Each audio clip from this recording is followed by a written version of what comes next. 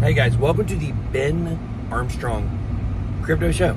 And today we're going to be talking about the three coins, my top three coins that can get over a railroad track. No, that's what I just did. The top three coins here that I have the most confidence in in this bull run. Okay? So, here we go. Without further ado, we will start the list. And welcome to the show, welcome to the channel. If you guys are new here, make sure to hit that subscribe button. Um, we're trying to reach 50,000 subscribers, guys. We reach 50,000 subscribers, I will become a legitimate, prominent YouTuber, and I'm super excited about it and hope you can help me with that. Um, and guys, make sure to also smash the like button on this video. It's the number one thing you can do um, to send a message to Discover Up Crypto. the number one thing you can do to support crypto adoption is to like this video. Um, but guys, in all seriousness, uh, these are the top three coins that I have the most confidence in, and I'm gonna throw a cap. I'm gonna throw a 2.5 out there. Okay, um, there, there's going to be one, two coins that aren't going to make the list.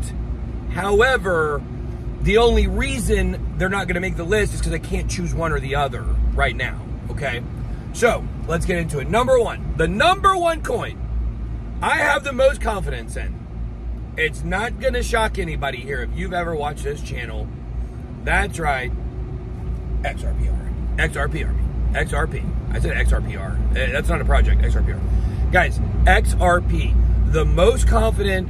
Look, guys, when this bull run hits, I've told you forever. The the fact is, is that XRP is going to blast off, and the fact that it is less than 52 or 53 cents, wherever it's at, around 50, 51 cents right now, incredible value incredible value for where this coin is going to go.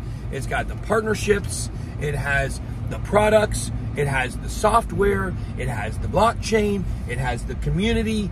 It has everything that you want. It's in a lucrative industry XRP, the future of banking, um, no, the, the, excuse me, not banking necessarily, the future of international transfer and cross-border payments, remittance payments in the banking world, the financial, the traditional world. You can't go wrong with XRP. Obviously, is it going to go to $89? Is it going to go to $22? Is it going to go to $589? I don't know. But what I can tell you is the price will be higher than it is right now. I almost, almost guaranteed. Could never say 100% guaranteed, but that is my opinion.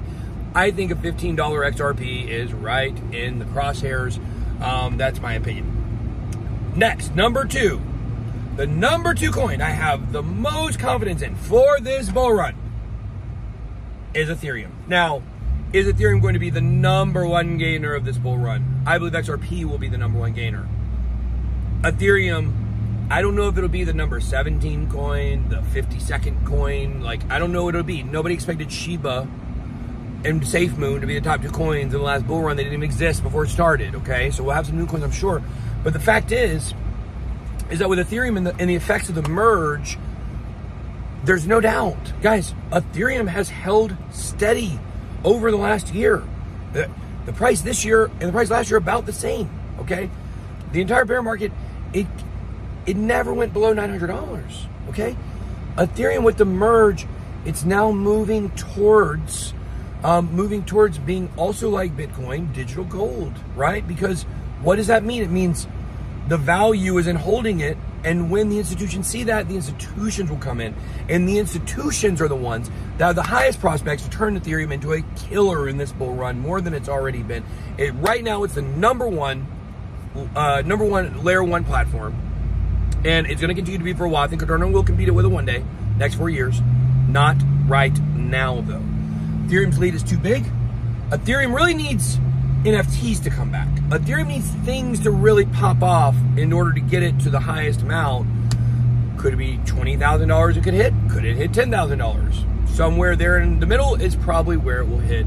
Some, somewhere between 8 and 20K. We'll see what happens. I, I would tend to think 10K should be a sure shot, but I thought in the last bull market it didn't happen. It got pretty close. Well, not close, it got half of it. Um, which you know, either you say, oh, it needed a 100x gain to get, you know, it need a 100x gain to get from 5000 to $10,000 or 4000 to $8,000 or whatever it was. However, the difference is that when it comes to Ethereum right now, or excuse me, here's what I meant to say. What I meant to say was, is that the fact is, is that it needed a 100x to go from $5,000 approximately to $10,000 approximately.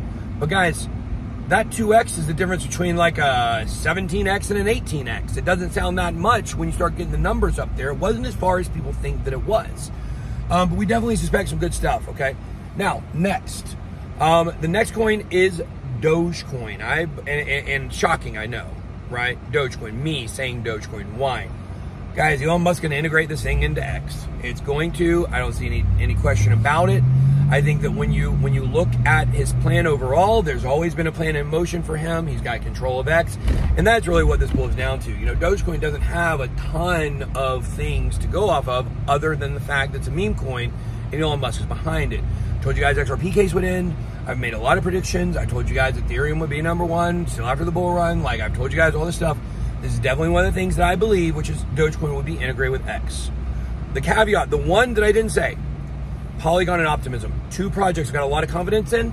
But the fact is, it's, since there's two of them, you know what they say about quarterbacks in football.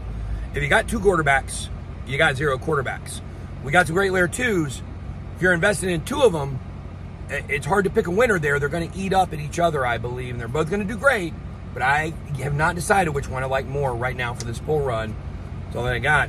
Guys, just be blessed.